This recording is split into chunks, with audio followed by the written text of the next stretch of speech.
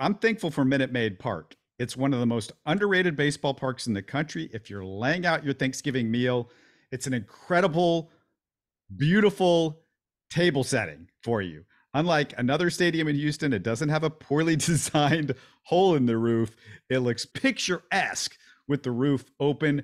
It's aging gracefully, like Shaun is. There's not a bad seat in the place, and it's given us a mountain of memories in just 20 years. Maybe, Shaun, it's actually a good luck charm.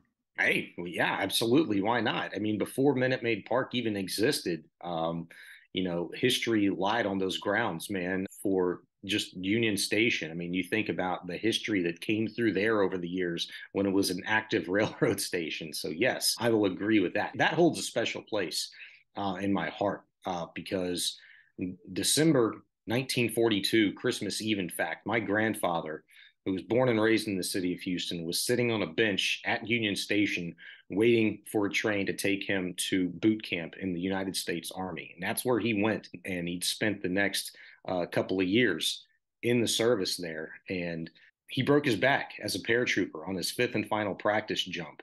Six months later, after being told by the doctors he'd never play baseball again, he was in the World Series.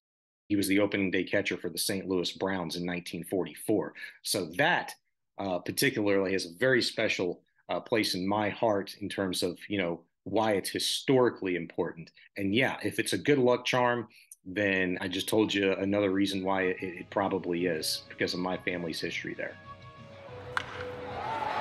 You're listening to Houston Sports Talk